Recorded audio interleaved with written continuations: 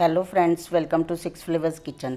आज हम बनाएँगे नींबू का खट्टा मीठा अचार। प्लीज़ हमारे चैनल को सब्सक्राइब कीजिए और बेल आइकॉन दबा दीजिए ताकि हमारे हर वीडियो की नोटिफिकेशन आपको मिल जाए। नींबू का खट्टा मीठा अचार बनाने के लिए हमने लिए हैं एक किलो नींबू।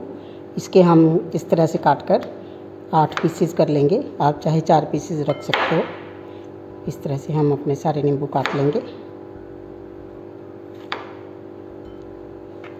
एक किलो नींबू में हम डालेंगे आधा किलो चीनी। जितने नींबू होते हैं उससे आधी चीनी। और 50 ग्राम हम डालेंगे नमक। इन्हें हम मिलाकर।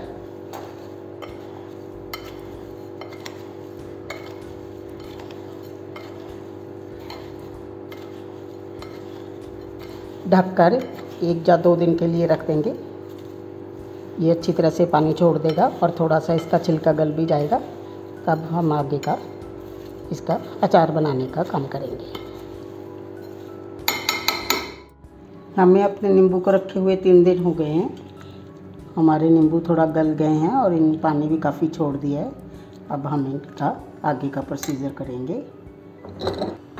हमने ले लिया एक कढ़ाई, इसमें हम डालेंगे 50 ग्राम जीरा और इसे भून लेंगे।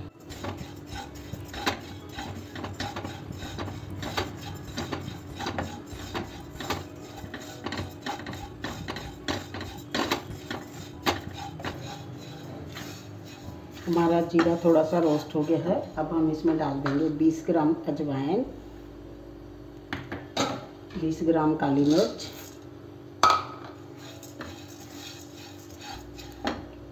बीस ग्राम बड़ी इलायची, दस पंद्रह हम डाल देंगे लौंग। इन सबको भी हम रोस्ट कर लेंगे।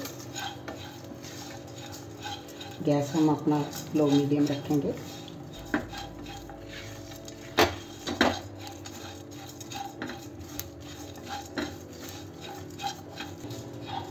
अब हम अपना गैस बंद कर देंगे और इसे थोड़ी देर हिलाते रहेंगे, क्योंकि अभी हमारा कढ़ाई गर्म है।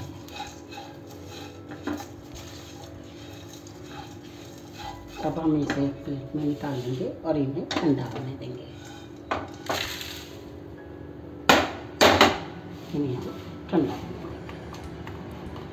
हमारे मसाले थोड़े ठंडे हो गए हैं, इन्हें हम ग्राइंड कर लेंगे।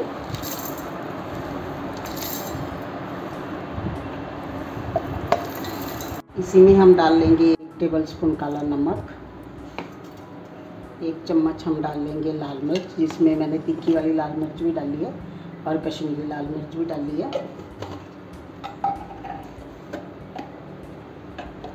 वन फोर्थ टी स्पून हम डाल लेंगे जिंजर पाउडर और वन फोर्थ टी स्पून हम डाल लेंगे जायफल पाउडर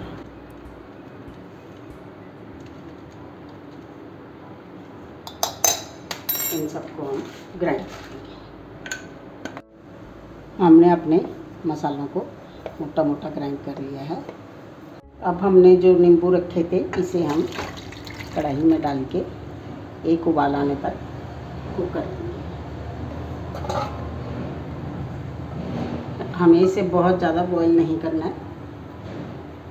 बस दो तीन मिनट बॉईल आने के बाद एक दो मिनट ही पकाना है।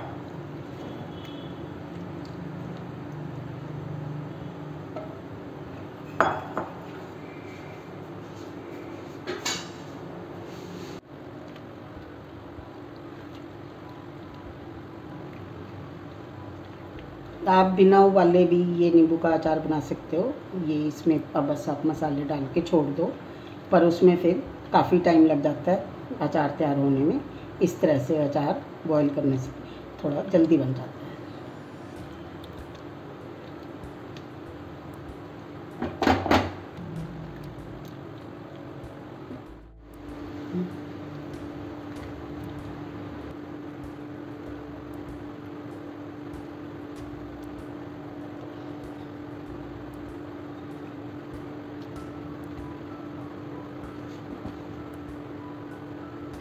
हमारे नींबू बॉईल होने शुरू हो गए हैं, अब हम इसमें मसाला डाल देंगे।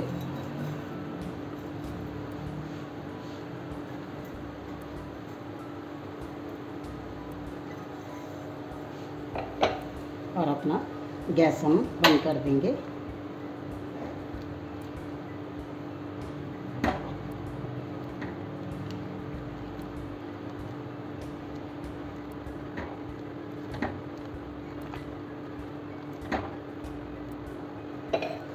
थोड़ा ठंडा होने पे हम इसे एक कंटेनर में भर कर रख लेंगे।